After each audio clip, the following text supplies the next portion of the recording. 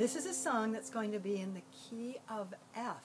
So put your first finger on the second string, first fret, get your middle finger and put it on the fourth string, second fret. There's your F chord. So try that. And then I want you to take your fingers off the F chord, move your pointer finger over to the first string, first fret. Isn't that easy? That's C7.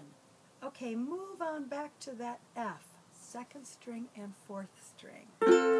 All right, I hope you're really ready to do the hokey pokey. Here we go. You put your right foot in, you put your right foot out, you put your right foot in, switch to C7 and you shake it all about. You do the hokey pokey, you turn yourself around. That's what it's all about. You're back to the F. Let's try that change again. You put your other foot in, you put your other foot out, you put your other foot in. Here comes that switch. And you shake it all about. You do the hokey pokey, you turn yourself around. That's what it's all about. You're back to F. Let's do one more verse. You put your ukulele in, you put your ukulele